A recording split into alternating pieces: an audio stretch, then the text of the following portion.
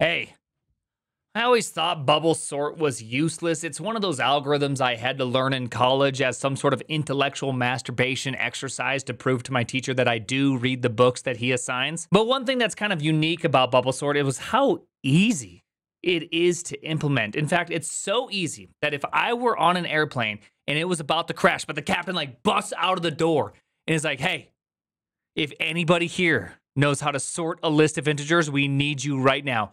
I'd raise my hand, I'd say, name the language, I got you. That's just how easy bubble sort is to implement. But then I read the article, When Would You Ever Want Bubble Sort? And I saw this animation. And it made me realize there's actually a pretty cool property to bubble sort. But first, for those that don't have any idea what bubble sort is, let me help you out really quickly. I have this nice list of integers and I would like it sorted. Now, with bubble sort, you start off on the first two integers and you say, hey, I can sort two, right?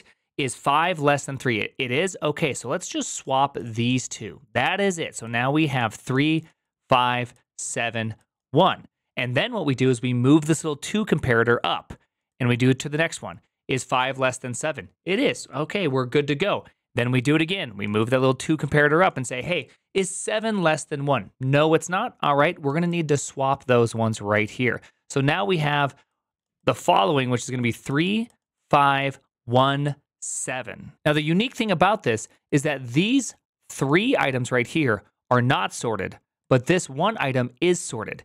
The biggest or the smallest number was bubbled to the top, hence the name bubble sort. And that is why that animation, you can watch it slowly go from unsorted to sorted because the list becomes progressively more sorted every single pass you run.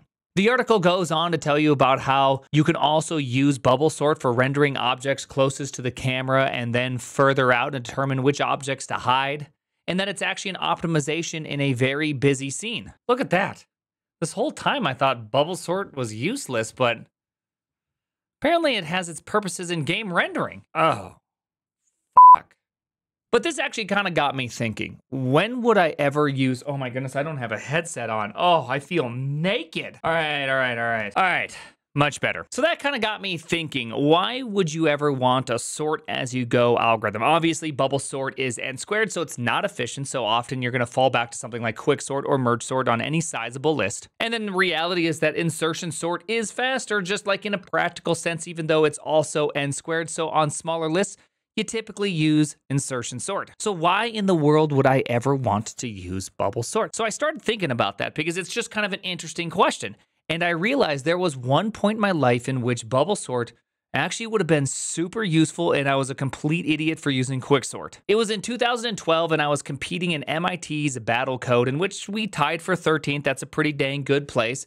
And uh, even funnier, that same year, I ended up going out to dinner with the infamous backdoor Wang of FTX. Yes, the backdoor Wang and SBF himself. Now, if you're not familiar with Battlecode, it's pretty straightforward. You're usually on some sort of map in which there's a set of resources or something in which you're competing against one other player in a domination for either resources or doing da damage to their HQ kind of like StarCrafty in a way. At least that was 2012. It was very StarCrafty. If you could comment a little bit on how you decide when to build an artillery. Our artilleries are using the dot product and the unit vector to basically determine how far away from our HQ line to the other HQ to say, hey, we want an artillery in this spot because it's going to be in between us and the enemy. There was headquarters, then there was these little resource points throughout the entire map, and then you could spawn little guys that could go around and fight either each other or go and capture resources. But the twist is is that each one of these guys you could only run so many operations. You had 10,000 opcodes is what they would say. So like accessing something from array, I thought I forgot what it was. It was like 10 opcodes or something like that. So every single operation you did would end up costing a decent amount of your opcodes. So you had to be careful because if you ran out of your opcodes, your guy would just sit there and freeze. So if you went off and did an expensive operation, your guys could freeze for like 10 rounds, 20 rounds at a time, which was very dangerous because you could just be killed. So one of the problems I had to solve was okay, there's all these resources across the map. I really want to be able to find the resources that are closest to me and furthest from the player and start capturing those because that's where we're going to want to set up our base to be able to spawn, say, more guys, get more resources, whatever it was. I can't even remember.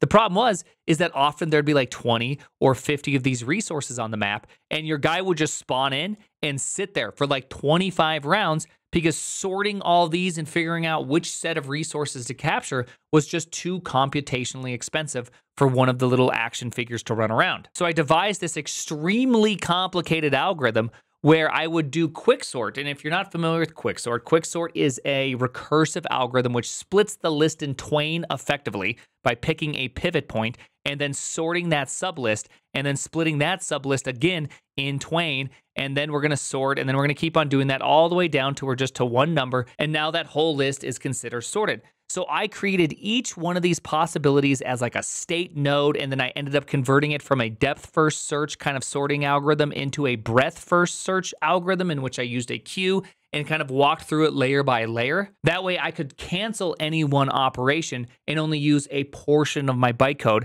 and then allow all the other operations that we need to do to take place. Well, looking back on this, I realized something. What I could have done is used bubble sort.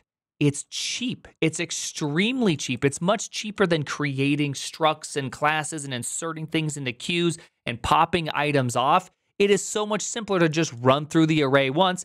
How many bytecodes do I have left? And how much of my array do I have left? Because you only need to keep track of uh, just a couple integers and the array itself to be able to run bubble sort in a progressive manner. See, what I could have done is I could have had like my current round that I'm on on bubble sort and then all I would have to do is go, okay, well, if I'm on round five, that means my five furthest elements are sorted. And so if I still haven't used those five resources, then I don't even need to sort further. Here, I'm going to pick this one resource because that's the one I want to do. And I don't even need to further sort it. Every single time I need to search further for a resource to be used, I'd have to do one more round of sorting. And like looking back on this, I realized that my engineering brain of just being like, okay, hey, you know, n log n. It's objectively better, right? I mean, n squared, n log n, obviously better. So I wrote an entire apparatus that was so complicated to solve something that if I would have just taken a bit more time and not just instantly jumped to